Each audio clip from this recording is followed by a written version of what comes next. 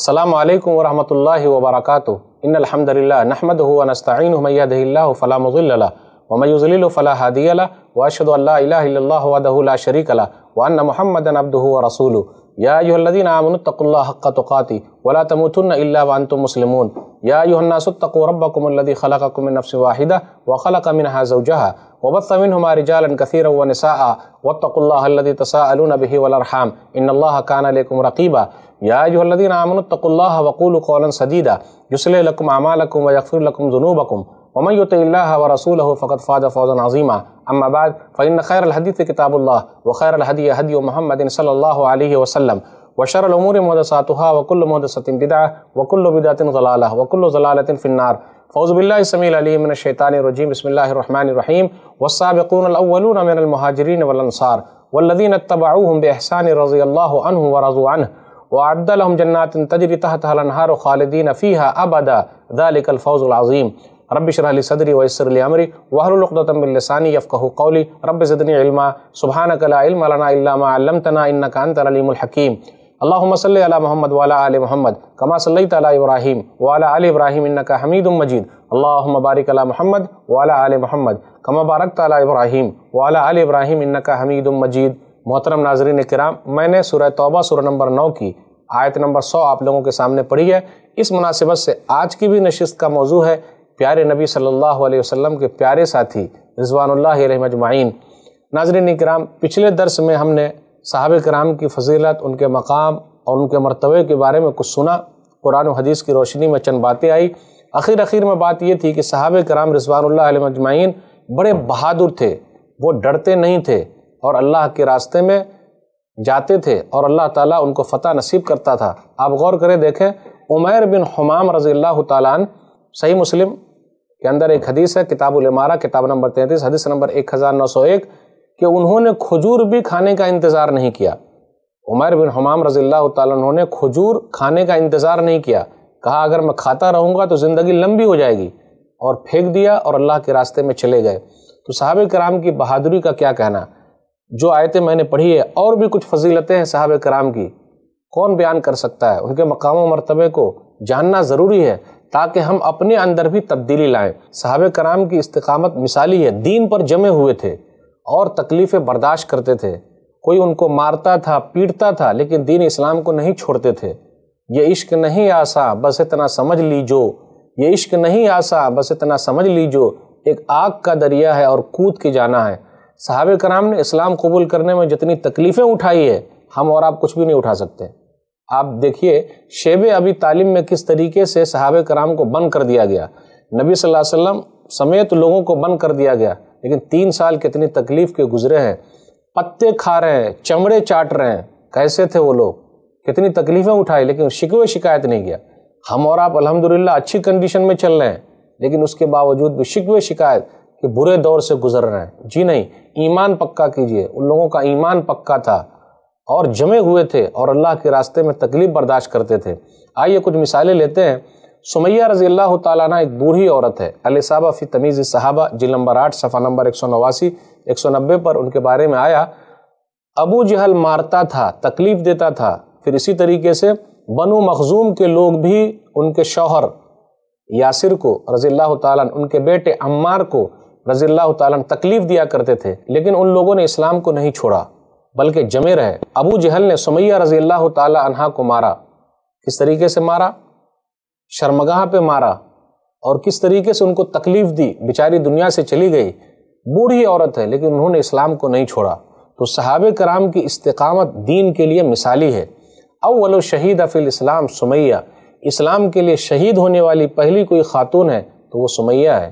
اسلام کے لیے سب سے پہلے جو شہید ہوئی ہے وہ خاتون ہے مرد نہیں ہے، عورت ہے۔ کیا مقام ملا ہے؟ تو نبی صلی اللہ علیہ وسلم پر ایمان لانے والوں میں صحابہ کرام بھی ہیں، مرد بھی ہیں، عورتیں بھی ہیں۔ ابو بکر صدیق رضی اللہ تعالیٰ نے پہلے اسلام لائے مردوں میں۔ ام المومنین خدیجہ رضی اللہ تعالیٰ عنہ ہے عورتوں میں پہلے اسلام لائی۔ علی رضی اللہ تعالیٰ عنہ ہے بچوں میں پہلے اسلام لائے۔ پھر زید بن حارثہ ہے رضی اللہ تعالیٰ عنہ غلاموں میں پہلے اسلام قبول کیے ہیں۔ تو نبی صلی اللہ علیہ وسلم کے ہاتھ پر ہر طرح کے لوگوں نے اسلام قبول کیا ہے۔ اور صحابہ کرام کی فضیلت یہ ہے کہ اسلام لانے کے بعد وہ نہ کسی سے ڈرے اور نہ کسی کی لالچ میں آئے۔ آئیے ایک واقعے پر غور کرتے ہیں۔ جب یاسر کے خاندان کو تکلیف دی جاتی تھی اور نبی صلی اللہ علیہ وسلم کا وہاں سے گزر ہوتا تھا، تو آپ صلی اللہ علیہ وسلم کو اچھا نہیں لگتا تھا۔ آپ صلی اللہ علیہ وسلم یہی کہتے تھے صبرن یا آل یاسر فعن نمعیدکم الجنہ اے یاسر کے خاندان والوں صبر کرو، تمہارا ٹھکانہ جنت ہے۔ تو نبی صلی اللہ علیہ وسلم دلاسا دیا کرتے تھے۔ صحابہ کرام کی فضیلت اور ان کا مقام اور ان کا مرتبہ تو ایسا ہے کہ وہ لالچ میں نہیں آئے اور نہ وہ ڈرے۔ عبداللہ بن حضاف سہمی رضی اللہ تعالیٰ عنہ کے واقعے پر غور کیجیے۔ سیر و عالام نوبلا جل نمبر دو، صفحہ نمبر گیارہ، ترجمہ نمبر دو۔ کیا آیا اس کے اندر؟ عبداللہ بن حضاف سہمی رضی اللہ تعالیٰ عنہ جمے رہے، ڈٹے رہے، لالچ میں نہیں آئے اور ڈرے بھی نہیں۔ دو ہی وجہ سے تو آدمی کو لیا جا سکتا ہے، یا ڈرایا جا سکتا ہے یا پھر لالچ دے کر اس کو بھکایا جا سکتا ہے۔ روم کے بادشاہ نے لالچ دی۔ عبداللہ بن حضاب سامی رضی اللہ تعالیٰ عنہ کو روم کے بادشاہ نے لالچ دی۔ کہا حل کا انت تنصر و اوتی کا نصف ملکی اگر تم نصرانی بن جاؤ گے عیسائی بن جاؤ گے تو ہم اپنے ملک کا آدھا حصہ دے دیں گے۔ اور کیجیے، دنیا مل رہی تھی، آدھا ملک مل رہا تھا۔ لالچ دیا جا رہا ہے، لیکن ایمان والے کبھی ایمان کا سودا نہیں کرتے۔ ایمان سب سے بڑی دولت ہے۔ دنیا کی دولت کچھ نہیں ہے۔ دنیا کا مقام کچھ نہیں، کوئی مرتبہ نہیں۔ تو اس نے یہ کہا کہ اگر آپ عیسائی ہو جائیں تو میں اپنا آدھا ملک دے دوں گا۔ کیا جواب دیا عبداللہ بن حضافہ سامی رضی اللہ تعالیٰ عنہ نے کہا، لو آتی تینی جمی اماتمل کو و جمی املک العرب مارا جات و اندین محمد طرفت عین آپ جس چیز کے مالک ہیں، اگر وہ تمام چیز مجھ کو دے دیں، ملک عرب میں سے بھی دے دیں تو میں ذرہ برابر بھی محمد کے دین سے پلک جھپکنے تک بھی الگ نہیں ہو سکتا۔ دیکھا آپ نے، لالچ میں نہیں آئے۔ تو صحابہ کرام کی یہی فضیلت ہے، ان کا یہی مقام ہے، ان کا یہی مرتبہ ہے کہ وہ کسی کے لالچ میں نہیں آتے تھے۔ بڑے افسوس کے ساتھ کہنا پڑتا ہے، بہت سارے بھائی لالچ میں آ گئے۔ بہت سارے کلمہ پڑھنے والی بہنیں لالچ میں آ گئی اور انہوں نے اپنا دین اسلام چھوڑ دیا۔ وہ دوسرے کے ساتھ بھاگ گئی اور وہ دنیا کے خاطر اپنے اسلام کو چھوڑ کر ان کے ساتھ رہتی ہے۔ اور شادی کر لی۔ گھر ہے، بنگلہ ہے، گاڑی ہے، اور اسلام کو چھوڑ دیا۔ عبداللہ بن حضاف سہمی رضی اللہ تعالیٰ عنہ نے کہا کہ نہ، آپ پورا ملک کیوں نہ دے دیں؟ میں ذرہ برابر بھی محمد کے دین سے صلی اللہ علیہ وسلم الگ نہیں ہو سکتا۔ اب ڈرایا جا رہا ہے۔ ان کو سولی پر لٹکا دیا گیا ہے۔ سولی پر لٹکا دیا گیا۔ اب حکم کا انتظار ہے۔ تو عبداللہ بن حضاف سہمی رضی اللہ تعالیٰ عنہ رونے لگے۔ تو یہ روم کے بادشاہ نے یہ سمجھا کہ شاید ڈر گیا ہو، اس لیے کہا جی نیچے اتارو۔ نیچے جب اتارا گیا تو پوچھا، کیوں رو رہے تھے؟ سنیے گا جواب، یہ صحابہ کرام کی فضیلت، یہ مقام صرف ان کو ہی ملا ہے۔ انہوں نے کیا کہا؟ ہی نفس واحدہ تلقصا فتذہب فکن تو اشتہی ان یکون بعدد شعری انفسن تلقا فی النار فی اللہ۔ میرے پاس تو ایک جان ہے اور ابھی وہ جان چلی جائے گی۔ کاش کہ میرے پاس بہت ساری جانیں ہوتی، کاش کہ میرے پاس بہت ساری جانیں ہوتی اور میں تمام جانوں کو اللہ کے راستے میں لگا دیتا اور تمام جانوں کو اللہ کے راستے میں شہید کر دیتا۔ کاش، اس لیے رو رہا ہوں کہ صرف ایک ہی جان ہے، چلی جائے گی۔ آپ کو یاد ہوگا، آپ غور کریں، بھارت دیش کے اندر جب انگریزوں کی حکومت تھی تو وہ کس طریقے سے مسلمانوں پر ظلم ڈھایا کرتے تھے؟ جزیرہ انڈومان نکوبار، وہاں کے جیل گواہ ہیں۔ چالیس سال، پینتالیس سال مسلمانوں کو رکھا گیا ہے۔ داڑھی والے مسلمانوں کی بے عزتی کی گئی ہے۔ اب حکم آ گیا۔ کچھ لوگوں کے لیے جی ان کو پھانسی پر لٹکانا ہے۔ خوش ہو گئے۔ اس کے بعد کہا، جج نے جی نہیں، ان کو خوشی ہو رہی ہے۔ پھانسی کا پروانہ ملا کہ پھانسی پر لٹکایا جائے گا اور خوش ہو رہے ہیں۔ تو ان کی داڑھی پکڑی اور داڑھی کو کاٹ دیا تو رونے لگے۔ اس لیے رونے لگے کہ اے داڑھی، تو کتنی خوش نصیب ہے۔ میرے شہید ہونے سے پہلے ہی تو شہید ہو گئی اللہ کے راستے میں۔ تو یہ اللہ والے لوگ ہوا کرتے ہیں۔ تو صحابہ کرام کے یہ واقعات پڑھ کے ایمان کو ذرا تسلی ملتی ہے۔ اس لیے میرے بھائیوں، ناظرین کرام، دنیا میں جتنی بھی تکلیفیں ہیں، وہ کچھ بھی نہیں۔ صحابہ کرام نے جتنی تکلیفیں اٹھائی ہے ہم اور آپ ان کے قریب بھی نہیں پہنچ سکتے۔ اس کے بعد کیا ہوا؟ روم کے بادشاہ نے یہ دیکھا، ارے، یہ آدمی نہ لالچ میں آ رہا ہے اور نہ ڈر رہا ہے۔ اب کیا کرنے کا؟ تو اس نے کہا، روم کے بادشاہ نے کہ میری ایک خواہش ہے، تمہارے جتنے قیدی ہیں نا، سب کو میں چھوڑ دوں گا، لیکن ایک خواہش یہ ہے کہ میری پیشانی کا بوسہ لے لو۔ انہوں نے کہا، ٹھیک ہے، لیکن سب کو چھوڑنا پڑے گا، جتنے مسلمان ہیں۔ بولے ہاں ٹھیک ہے۔ تو انہوں نے بوسہ لے لیا، ان کی خواہش پوری کر دی۔ پورے قیدی کو لے کر آ گئے۔ عمر بن خطاب رضی اللہ تعالیٰ عنہ کا دور تھا۔ پہنچے تو عمر بن خطاب رضی اللہ تعالیٰ عنہ نے کہا حق علا کل مسلم ایقبل راس ابن حذافہ۔ وانا ابد و فقبل راسہ ہر مسلمان کی ذمہ داری ہے کہ وہ عبداللہ بن حذافہ سہمی کی پیشانی کو چومے اور میں پہل کرتا ہوں اور سب سے پہلے میں چومتا ہوں۔ تو صحابہ کرام ایسے تھے۔ آپ غور کرے دیکھیں، بلال رضی اللہ تعالیٰ عنہ کالے کلوٹے غلام ہیں۔ خدا کے گھر کا گلاف کالا سیاہ رنگ کا بلال بھی ہے۔ خدا کے گھر کا گلاف کالا سیاہ رنگ کا بلال بھی ہے۔ خدا نہ دیکھے کسی کی صورت عمل سے انسان انسان بھی ہے۔ بلال حفشی رضی اللہ تعالیٰ عنہ معزن رسول ہیں۔ کلمہ پڑھ لیا، لا الہ الا اللہ محمد الرسول اللہ، تو رسول اللہ صلی اللہ علیہ وسلم کے معزن بن گئے۔ غلام تھے، ان کو بھی ستایا گیا ہے۔ اسلام لانے کی وجہ سے ان کو پریشان کیا گیا ہے۔ سرن ابن ماجہ، مقدمہ، حدیث نمبر ڈیڑھ سو، حدیث نمبر ایک سو پچاس۔ صحیح روایت ہے، بلال رضی اللہ تعالیٰ عنہ خود کہتے ہیں، وہ اپنے بارے میں بیان کرتے ہیں۔ یا راوی ان کے بارے میں بیان کرتا ہے، فَأَخَذُوهُ فَعَاتَوْهُ الْوِلْدَانِ۔ جن کے وہ غلام تھے لوگ ان کو پکڑتے اور ان کو رسے میں باندھ کر بچوں کے حوالے کر دیتے۔ فَجَعَلُوا يَطُوفُونَ فِي شِعَابِ مکہ۔ اور بدماش قسم کے بچے لوگ بلال رضی اللہ تعالیٰ عنہ کو مکہ کی گلیوں میں گھسیٹا کرتے تھے۔ تو جب بچے لوگ ان کو گھسیٹتے تھے، ان کی زبان پر ایک ہی چیز جاری تھی، وہ کیا؟ احد احد، اللہ ایک ہے، اللہ ایک ہے۔ تو صحابہ کرام کی یہ فضیلت، ان کا یہ مقام ہے، ان کا یہ مرتبہ ہے کہ وہ تکلیفیں برداشت کیا کرتے تھے۔ لیکن اپنے اسلام کو انہوں نے نہیں چھوڑا۔ آپ غور کریں، خباب بن عرت رضی اللہ تعالیٰ عنہ نبی صلی اللہ علیہ وسلم کیسے دلاسا دیتے ہیں؟ کتنی تکلیف انہوں نے اٹھائی ہے کہ ان کو آگ کے انگارے پر ڈالا جاتا اور پیٹھ کو آگ کے انگارے پر رکھا جاتا اور ان کے سینے پر بھاری پتھر رکھ دیا جاتا۔ پیٹھ میں سے پیپ نکل کر اس کوئلے کو بجھا دے، تب وہ لوگ چھوڑتے تھے۔ کتنی تکلیف انہوں نے اٹھائی ہے۔ نبی صلی اللہ علیہ وسلم دلاسا دیا کرتے تھے۔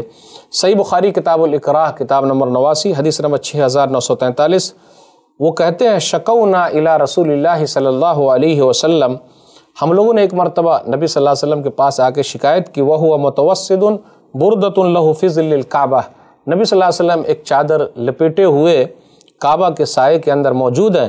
فقلنا، تو ہم نے کہا اللہ تستن سر لنا اللہ تدو لنا آپ ہم لوگوں کے لیے مدد کی دعا کیوں نہیں کرتے؟ آپ ہم لوگوں کے لیے دعا کیوں نہیں کرتے؟ ہم لوگوں کے لیے مدد کیوں نہیں مانگتے؟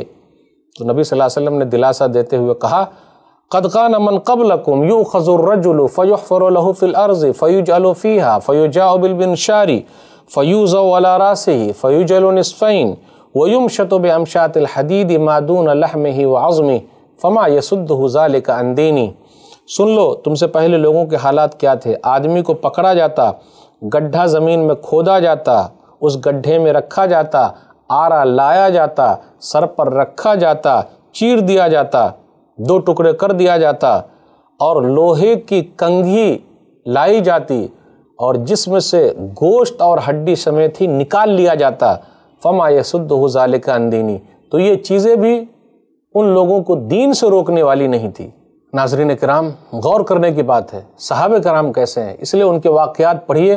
اور اپنے ایمان کو مضبوط کیجیے صحابہ کرام رضوان اللہ علیہ مجمعین نبی صلی اللہ علیہ وسلم سے بہت زیادہ محبت کرتے تھے۔ جان سے بھی زیادہ نبی صلی اللہ علیہ وسلم سے محبت کرتے تھے۔ اپنی جان کچھ بھی نہیں ہے۔ نبی صلی اللہ علیہ وسلم کی جان سب سے اہم جان ہے۔ سورہ عذاب سورہ نمبر تینتیس، آیت نمبر چھ، النبی اولا بالمؤمنین من انفسہم وازواجہ امہاتہم۔ مومنوں کے نزدیک نبی صلی اللہ علیہ وسلم جان سے بھی زیادہ محبوب ہے اور نبی صلی اللہ علیہ وسلم کی بیویاں ان کے لیے مائیں ہیں۔ آپ غور کرے دیکھیں، ایک مرتبہ عمر بن خطاب نے نبی صلی اللہ علیہ وسلم سے کیا کہا؟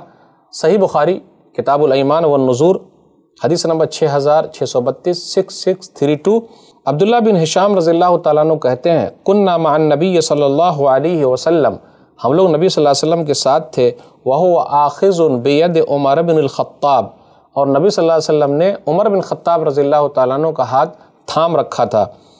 فقال له عمر تو عمر رضی اللہ تعالیٰ عنہ نے کہا، یا رسول اللہ، لَأَنْتَ أَحَبُّ إِلَيَّ مِن كُلِّ شَيْءٍ إِلَّا مِن نَفْسِي اے اللہ کے رسول صلی اللہ علیہ وسلم، آپ میرے نزدیک میری جان کو چھوڑ کر بڑے محبوب ہیں. یعنی میری جان محبوب ہے، اس کے بعد آپ محبوب ہیں، آپ پیارے ہیں. فقال النبی صلی اللہ علیہ وسلم، تو نبی صلی اللہ علیہ وسلم نے فرما لا، والذی نفسی بیدی حتی کون احب الیک من نفسک. نہیں، قسم ہے اس ذات کی جس کے ہاتھ میں میری جان ہے۔ یہاں تک کہ میں تمہارے نزدیک تمہاری جان سے بھی زیادہ محبوب نہ ہو جاؤں۔ فقال له عمر، تو عمر بن خطاب رضی اللہ تعالیٰ عنہ نے کہا، فَإِنَّهُ الْآنَ وَاللَّهِ لَأَنْتَ أَحَبُّ إِلَيَّ مِن نَفْسِي۔ تو نبی صلی اللہ علیہ وسلم، آپ سن لیجیے، آپ میرے نزدیک میری جان سے بھی زیادہ محبوب ہیں۔ تو نبی صلی اللہ علیہ وسلم نے فرمایا، فقال النبی صلی اللہ علیہ وسلم الان یا عمر اب اے عمر ہاں اب بات بنی اے عمر۔ یا اس کا اس طرح بھی کیجیے یا اس کو اس طرح بھی کیجیے اب بولے، پہلے ہی بولنا چاہیے تھا۔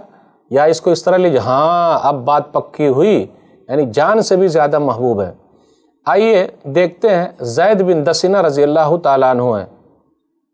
ابو سفیان نے ان سے جب پوچھا تو انہوں نے کیا کہا؟ الوداع و نہایا جل نمبر چار، صفحہ نمبر چار سو چالیس۔ ابو سفیان نے کہا، میں اللہ کا واسطہ دے کے کہتا ہوں۔ زید، سنو، میں اللہ کا واسطہ دے کے کہتا ہوں کہ اگر تمہاری جگہ محمد ہو اور ان کو کوئی تکلیف پہنچے تو تم کیا کہتے ہو؟ تو زید بن دسنہ رضی اللہ تعالیٰ عنہ نے کہا، واللہ ما احب ان محمد الان فی مکانہ اللذی ہوا فیہ تصیبہ شوکت توزیہ وانی جالس فی اہلی۔ نبی صلی اللہ علیہ وسلم جہاں بھی ہیں، اپنے گھر پہ ہیں، کہیں بھی ہیں، اگر ان کو کانٹا چپ جائے اور ان کو تکلیف ہو اور میں اپنے گھر والوں کے یہاں بیٹھا رہوں، مجھے یہ پسند نہیں ہے۔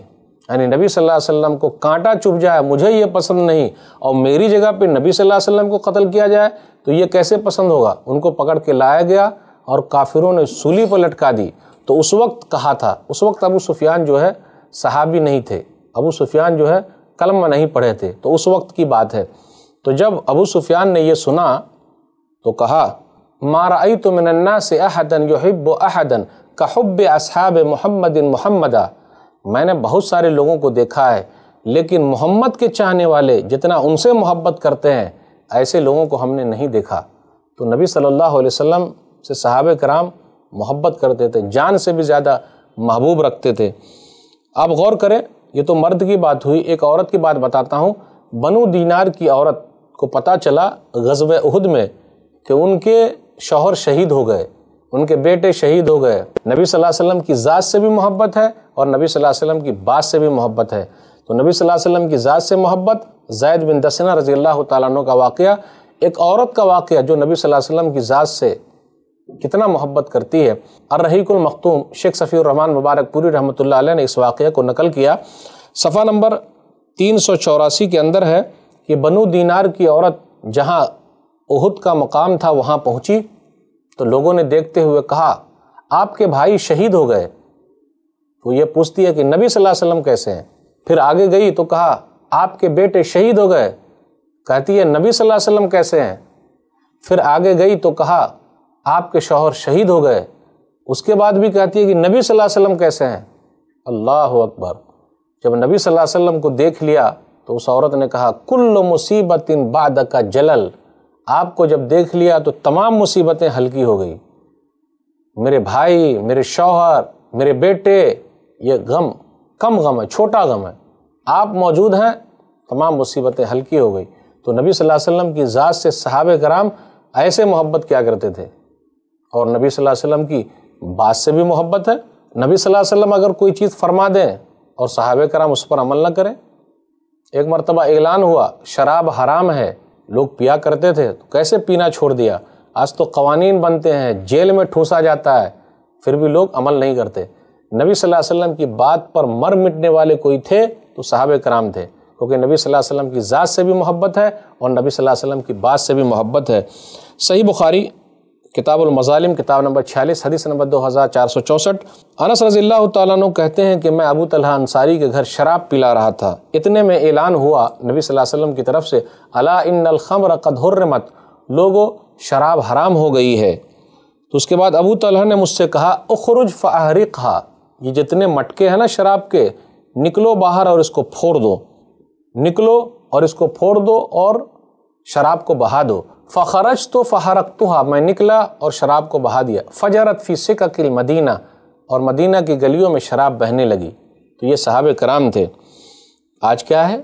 لوگوں کے حالات۔ نبی صلی اللہ علیہ وسلم کی بات پر عمل کرتے ہوئے تیار ہیں۔ کتنے لوگ چھوڑنے کو تیار ہیں؟ کہاں چھوڑتے ہیں؟ جو لت لگ گئی، وہ جلدی سے ختم نہیں ہوتی۔ ہنگامہ ہے کیوں برپا؟ تھوڑی سی جو پیلی ہے۔ ہنگامہ ہے کیوں برپا؟ تھوڑی سی جو پیلی ہے ڈاکہ تو نہیں ڈالا، چوری تو نہیں کی ہے۔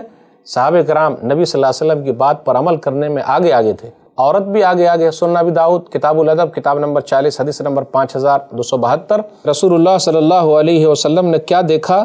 جب نبی صلی اللہ علیہ وسلم مسجد کے باہر ہیں فخت الرجال و مان نصاف طریق کہ عورت و مرد ایک ساتھ چل رہے ہیں راستے میں۔ تو نبی صلی اللہ علیہ وسلم نے عورتوں سے کہا، استاخر نفین نہ لے ان تحقق نہ طریق علیکن بحافات طریق فقانت المرأة تلصق بالجدار حتى ان صوبها ليتعلق بالجدار من لسوقها به عورتوں سے کہا، پیچھے رہو بیچ راستے سے مت چلو، یہ تمہارے لیے بہتر ہے۔